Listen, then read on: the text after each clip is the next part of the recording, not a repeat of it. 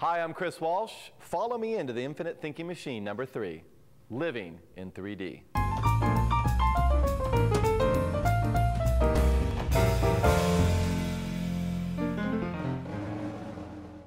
We live in the most amazing age where learning no longer has to happen in a vacuum.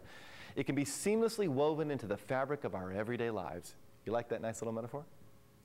And leave it to the rocket scientists to lead the way. We all know that NASA has some great educational projects, but here's one of my favorites. Via the internet, kids can control a large radio telescope in Southern California and collect real-time data, like the atmospheric temperature on Jupiter. They learn how to read the data, graph it in a spreadsheet, and even turn it into three-dimensional models using high-tech tools like Play-Doh and straws. The best part is that the students are actually conducting real research for NASA, and they could actually make new scientific discoveries.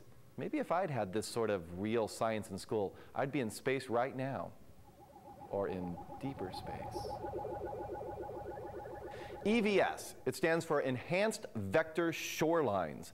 And one middle school teacher has a passion for creating and cataloging them with the help of his students.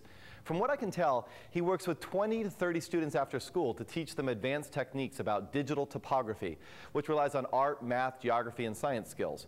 Then he enlists their help to accurately vectorize satellite images he gets from Google Earth. And they post all the final images to his blog for the rest of us to use. As a fellow geo geek, I have to give a massive gold star to Mr. Minton for taking on this very cool project and for allowing his passion to translate into amazing real world learning experiences.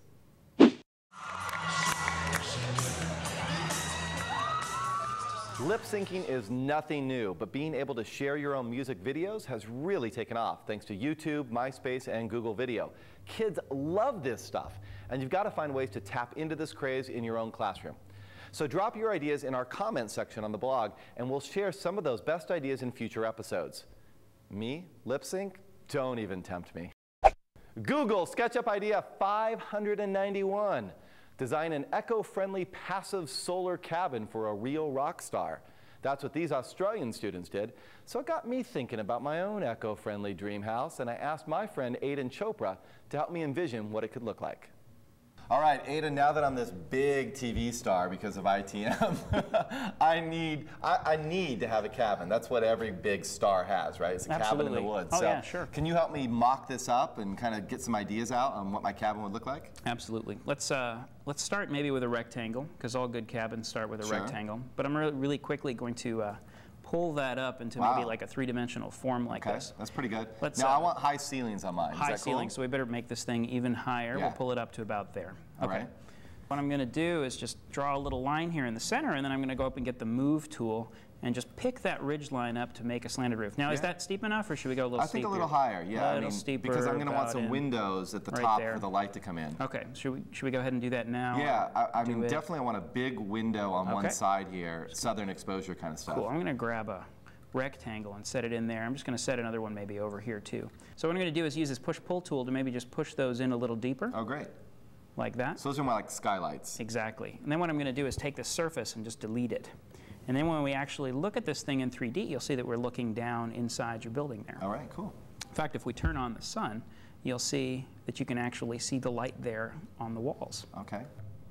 It's starting to look a little, little bit like my cabin here, but it's got nothing around it. What I'm going to do is pull up what we call components. They're little pre-baked uh, SketchUp models that download when you download SketchUp. You can make your own and add them to the menu. You can go online and grab ones that other people have made if you want. And uh, we've got some stuff in SketchUp here. What I'm going to do is drag you in a, a little minivan. How's the minivan? Sure, yeah, for the Yeah. kids. Do a minivan, maybe a pickup truck in case you need to haul wood. Definitely. You don't want to mess up that minivan. Although I'm a famous star, you know, I'm going to have my people do that. So um, we can drag in some of the shrubbery and trees. I mean, this is in the mountains, so Mm-hmm. Absolutely. pine trees and We'll grab a little tree, maybe Nice throw little- a little tree in there. Here's a different kind of tree. Oops, that looks like a bush. That's a small tree. Actually, yep. Here's a tree wow, like that that's too. a big tree. Yep.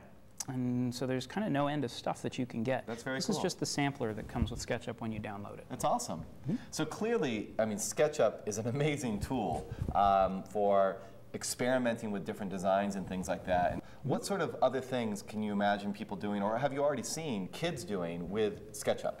What they're doing is kids within a school will uh, build their school. And it's a great accessible project because there's obviously math concerned. There's things like architecture and proportion and stuff like that that they're learning about as they're going out and measuring their school and figuring out exactly how it works.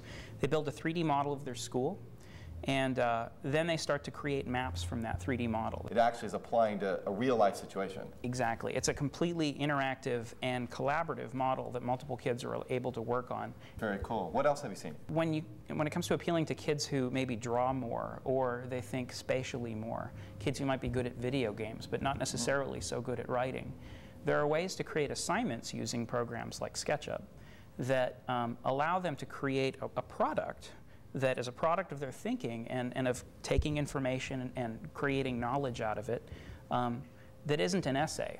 That's great. That's great. Well, thanks again for a great product, um, and I look forward to seeing my dream house pretty soon. You're going to have the Absolutely. CAD drawings, the, the blueprints all printed out for me, right? So I can just kind Absolutely. of We'll actually we'll build it for you. How's that? for Google. That, that's right. Thank exactly. you so much.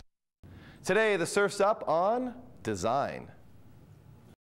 In the network world, design has become something even richer because it's now possible to um, use the network to pull information from a variety of different sources in order to compose a design. And that design work may actually be done by groups of people interacting with each other, analyzing the various aspects of the design and how it solves the problem, or the design and how it expresses an idea.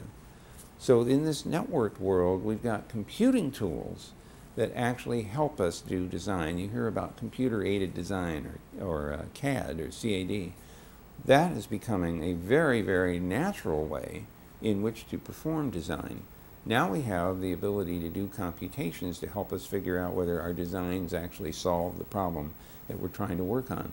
Over time, as we get more and more powerful computers, and more information on the network that's available in computer manipulable form, we may have computers becoming partners with us, not just fancy pencils, but actually devices that help us think through the solution to a problem, maybe look at variations and uh, alternatives, or look at extreme conditions that we can subject our design to to see whether or not it actually holds up. Okay, time to take the ideas from our little 2D show into the big bad 3D world. But before we go, here's your homework assignment for the week. Ready, set, go. What's this? And where is it? Hint. Okay, no hints. Find it, then discuss it by posting your answers and thoughts to the show comments in the ITM blog, www.infiniteThinking.org. I'm Chris Walsh for the ITM. Keep thinking. No, I'm not giving them any hints.